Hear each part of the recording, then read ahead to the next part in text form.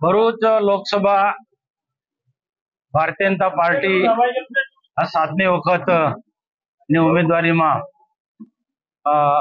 ખૂબ મોટા માર્જિનથી અમે જીતવાના હતા, પણ ઘણા બધા સમીકરણો બદલાયા. જેના કારણે અમે એસી બે, એસી હજારના લીડથી આ ભરૂચ લોકસભા જીતીએ છીએ.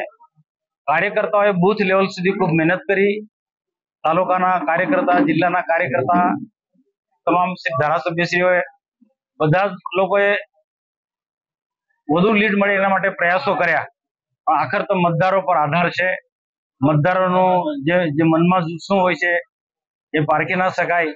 પરંતુ જીત અમારી નક્કી હતી. પહેલેથી જ અમે જીતની વાત કરતા હતા. સામે પક્ષે ખોટા અપપ્રચાર કર્યા. સરકારને અમને બધાને અનેક રીતે ડેમેજ કરવાના પ્રયત્નો કર્યા. ડેડિયાપાડા, સાગબારા ઝઘડિયા વિસ્તારની અંદર આદિવાસીઓમાં એવી ગેરસમજ ઊભી કરી કે ભારતીય જનતા પાર્ટીની સરકાર આવશે, મોદીની સરકાર ફરી આવશે, તો રિઝર્વેશન આદિવાસીઓને સમાપ્ત કરી દેશે.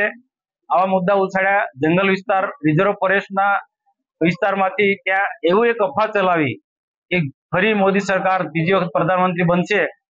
તો આદિવાસીઓને સ્થળાંતર કરાવવા પડશે, જંગલમાંથી ખાલી કરવાના છે ને અન્ય જગ્યાએ શિફ્ટ કરવાના છે. આવી બધી વાતો ચલાવી. એટલે આના કારણે આદિવાસીઓમાં એક પ્રકારનો ડર પેદા થયો અને અમને ડેડિયાપાડા કે સાગબારા કે ઝઘડિયા વિસ્તારની અંદર જે ખાસ કરીને ફોરેસ્ટ એરિયા જે છે, એવા વિસ્તારની અંદર માર પડે છે. ભણેલા ગણેલા વર્ગને પણ એવું લાગ્યું કે રિઝર્વેશન અમારું ખતમ થઈ જશે. અમે સમજાવવાના બધા પ્રયત્નો કર્યા છે અમારી રીતના કે બંધારણીય અધિકાર છે આદિ- આદિવાસીને મળેલો છે, એ કોઈ સમાપ્ત નથી થવાનો છે. દસ વર્ષ પ્રધાનમંત્રી નરેન્દ્રભાઈ મોદી સાહેબ પ્રધાનમંત્રી તરીકે રહ્યા છે. ગુજરાતમાં પણ ઘણા સમયથી ભાજપની સરકાર છે. ક્યાંય પણ આદિવાસીના હક અને અધિકાર માટે આપણને ક્યાંક નુકસાન થયું નથી. બધા સમજાવવાના પ્રયત્નો કર્યા. છતાં પણ મતદારોએ જે જજમેન્ટ આપ્યું છે, એને અમે સ્વીકારીએ છીએ અને એસી હજાર લીડથી અમે જીત્યા છે. જીત્યા પછી પ્રજાના પૂરેપૂરા કામ કરીશું. ક્યાંક મત મળ્યા છે, ક્યાંક નથી મત મળ્યા, એ જરા પણ ધ્યાનમાં નથી રાખવાના. પરંતુ આખા લોકસભાને ધ્યાનમાં રાખીને રાજ્ય સરકાર કે ભારત સરકારની જે જેટલી વિકાસકારી યોજનાઓ છે એ પૂરેપૂરી લોકોને મળે અને ક્યાંક ક્યાંક અમને જે નુકસાન થયું છે એના પણ અમે સમીક્ષા કરીને એમાંથી બહાર નીકળવાનો પ્રયત્ન કરીશું. મહત્વના નુકસાનથી તમને શું શીખ મળી છે? જી? મહત્વનું જે ધોવાણ થયું છે એનાથી શું શીખ મળી છે? એ તો આમાં શું છે ચૂંટણી છે ચૂંટણીમાં એવું નથી કે અમે મતદારોને અમે અપીલ કરી તે પ્રકારે મતદારો મતદારોના મનમાં એ જાણવું બહુ મુશ્કેલ છે. છતાં પણ અમે અમે સમીક્ષા કરીશું. કે જે જે વિસ્તારની અંદર ખાસ કરીને ઝઘડિયા વિધાનસભા અને ડેડિયાપાડા વિધાનસભાની અંદર આદિવાસી વિસ્તારની અંદર જે સખત માર પડ્યો છે એનો અમે ચોક્કસ સમીક્ષા કરીશું અને હારના કારણ એ વિસ્તાર બંને વિધાનસભાના હારના કારણો શું છે એનું જાણીશું અને એના જે લોકોના જે પ્રશ્નો હશે પ્રશ્નોનું સમાધાન પણ કરીશું.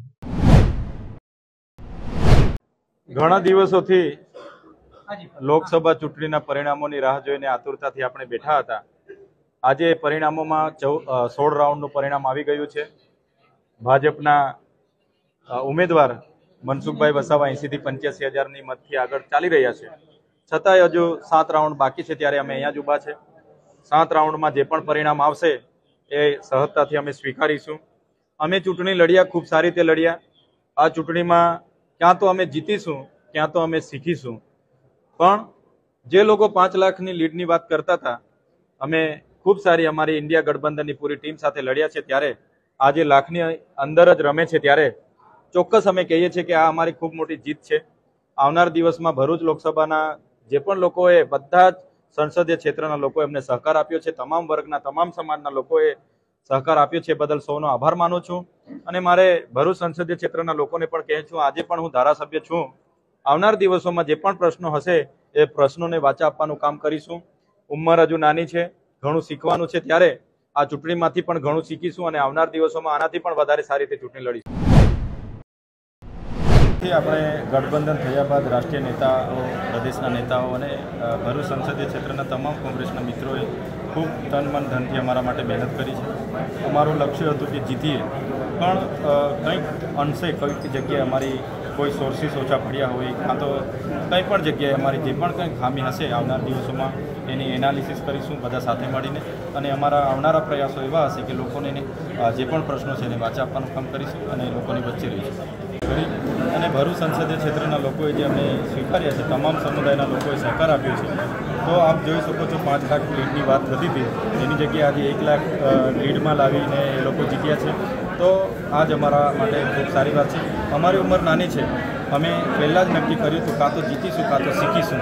તો આજે ઘણું શીખવાનું મળ્યું અને જ્યાં પણ અમારી ચૂક હશે, જ્યાં પણ અમારી ખામી હશે, આવનાર દિવસોમાં એ ખામી સુધારવાનું, અમે બધા સાથે બેસીને એનાલિસિસ કરીશું અને આવનારી ચૂંટણી સારી રીતે લડી, અમારા પ્રયાસો રહેશે.